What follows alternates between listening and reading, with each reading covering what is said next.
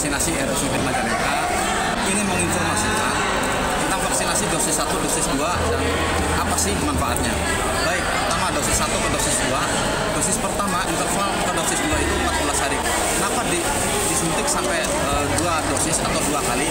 Yang pertama, kekebalan tubuh itu belum sempurna kalau hanya dosis pertama. Dan kedua, kekebalan tubuh kita atau sistem imun kita terbentuk setelah 30 hari. Dibutuhkan dan perlu dosis 1 dan dosis 2. Dengan catatan, apabila dosis pertama disuntik dan ada reaksi alergi, dosis kedua tidak perlu diberikan karena sudah mendapatkan alergi dari vaksin tersebut. Jadi dosis kedua sudah tidak perlu. Vaksinasi itu bukan obat untuk COVID.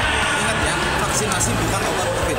Vaksinasi adalah untuk memberikan kekebalan tubuh kita terhadap virus virus yaitu COVID-19 uh, 19. Oleh karena itu harus dan tetap disarankan prokesnya yaitu 3M. Sekarang merambat uh, jadi 6M. Terutama 3M itu pakai masker, selalu cuci tangan, jaga jaga kerumunan. Itu yang harus wajib kita taati dan disiplin.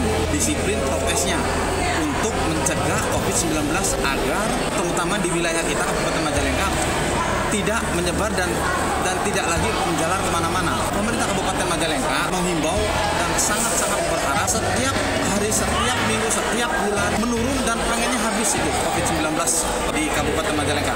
Oleh karena itu perlu dibutuhkan kerjasama kepada masyarakat semua untuk menjaga disiplin protokol kesehatan dan diberikan vaksinasi dua dosis. Terima kasih. Assalamualaikum warahmatullahi wabarakatuh.